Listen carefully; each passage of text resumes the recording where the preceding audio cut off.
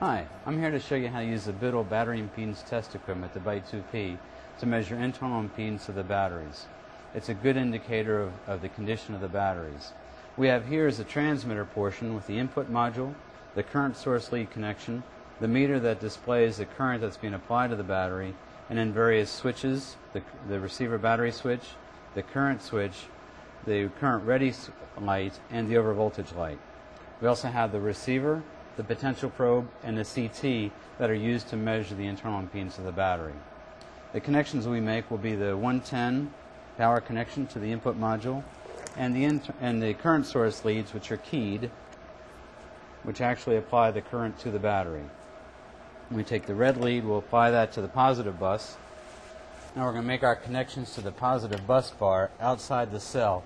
You can see the copper connection there, the copper bus bar with the connection to it and this red lead is outside the cell. That way we get proper current density when taking the measurements for the impedance.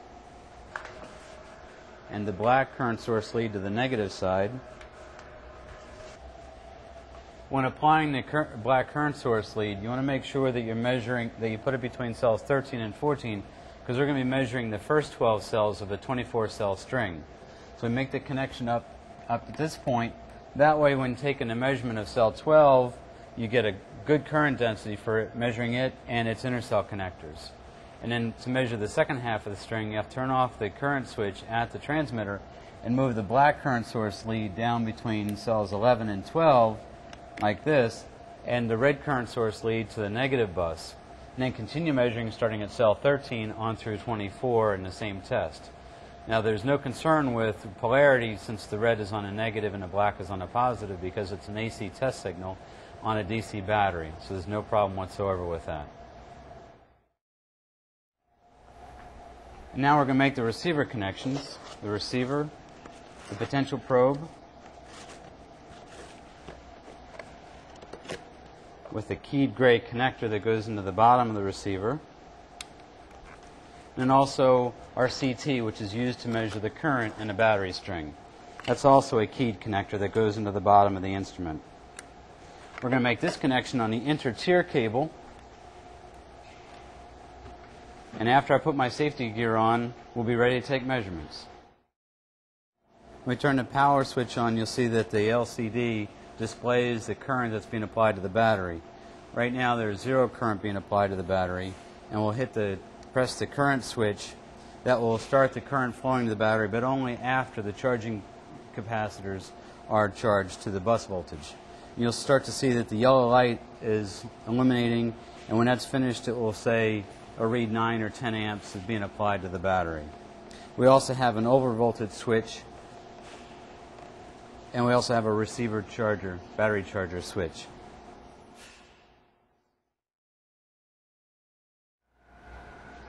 I'm going to measure the inter internal impedance of the cells using battery impedance test equipment. I'm going to measure diagonally across the cell with the receiver on the positive post and the potential probe on the negative. Then I'm going to measure the intercell connector all the way across and then measure diagonally across the cell once again and shows cell number 2 on the LCD. And then all the way across the intercell connector, which is called a strap. And you can hear a beep uh, when, the, when the measurement is written into memory. Go all the way across here again. Diagonally across the cell. Let the reading stabilize. Pull the trigger. Then you're going to see here the intercell connectors here are going to be much higher in result because they're cables versus solid inter intercell connectors. You also see the CT that's measuring the current in the string. And then the last intercell connector, because each cell has to be associated with an intercell connector. And we continue with the rest of the string, measuring all the way down to all 24 cells. At the end of the test, you want to push, turn off the current switch before disconnecting the current source leads from the battery. We'll also disconnect the current source leads from the transmitter At this point, we're going to want to print out the results that we just took on the, on the battery string.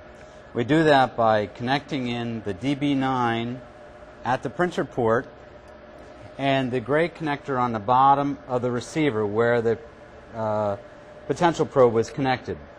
Now the, the unit is smart enough to know that I plugged in a printer cable and it's going to ask to transmit data. I'm going to say yes by pressing the up arrow key. It's going to ask you if the test is complete. At this point I'm going to say no to show the difference in the two printouts. I'm going to say no and in the printer and I'm going to select the test. In this case, it'll be test 2. And then I'm going to accept that. And now it's going to print out the test, number 2. But only the data. That way we can easily review the numerical data to make sure everything is okay. Because once you close a test, you cannot edit the data. So you look it over, make sure everything's okay, you need to edit that and you follow the instructions to edit a particular cell. If you're happy with that, then you can close the test by going through the menus here to export the data. Test complete. Yes. Are you sure? Yes. And it shows you the amount of cells available. Now I'm going to print out through the printer I'm going to select test number two again. I'm going to hit accept. You'll see a difference in the printouts here. At this point now it's printing out a barcode graph, a bar graph that will compare each cell with the string average of those cells. And therefore you can see how each cell is doing compared to the full string. We also added a baseline value to this particular test, which is one of the columns here that we're showing, pass, warning, and fail, and it will show how each cell fared to the baseline value we've entered, which is shown up here on the header information. You can see the bar graph coming out now. And you can see that cell number one is about 12% above the string average, which is calculated here. and that cell number 11 is more than 15% below the string average. You can see it's, it's a, since it's a thermal printer it's printing lots of information, it does move kind of slowly.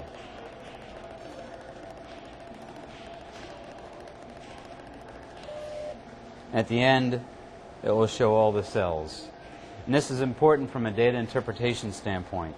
You can see how, how each cell fared compared to the entire string, as well as compared to the baseline value that is entered by the user depending upon the cell model and type.